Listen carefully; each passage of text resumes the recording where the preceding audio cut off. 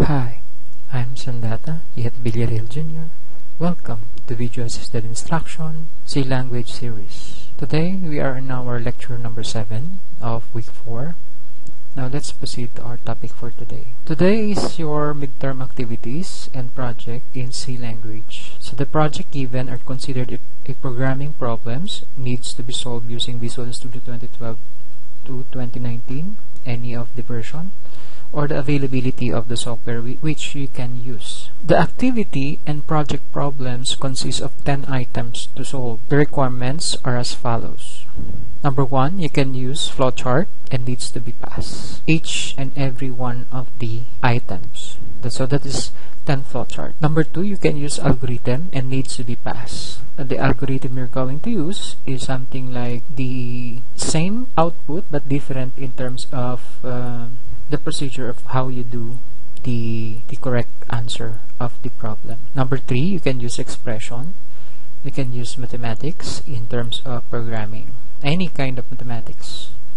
There are a bunch of mathematics all over the world and you can use that. Number four, you can use computers as hardware and Visual Studio as software. Number five, you can program on your own and pass.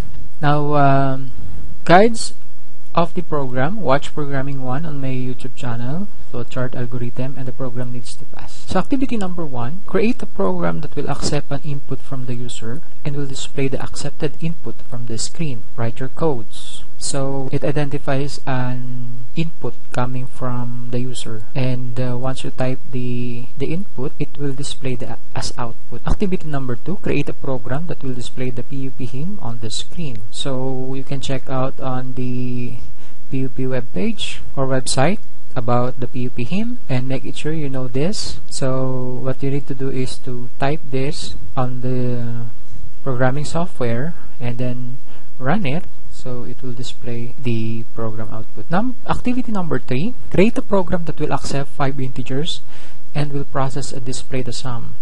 So 5 numbers as integers and it will compute for addition to get the sum. So you need to have five inputs and you have uh, one output. Activity number four, create a program that will accept five integers and will process and display the product. So this is something like multiplication. Okay, you can multiply five uh, integer number. Activity number five, create a program that will accept five integers and will process and display the difference. So this is something like subtraction. You're going to input five integers, then you're going to subtract all of them and you can get the difference as an out. Next, activity number 6, create a program that will accept 5 integers and will process and display the quotient. So this is something like division. So you're going to uh, input uh, 5 integers and make it sure that the beginning is larger number rather than or high higher number rather than uh, on the last one is lowest number to get the quotient. Otherwise, it will become uh, something like negative. Next, number 7. Create a program that will accept integer and will increment the integer out inputted.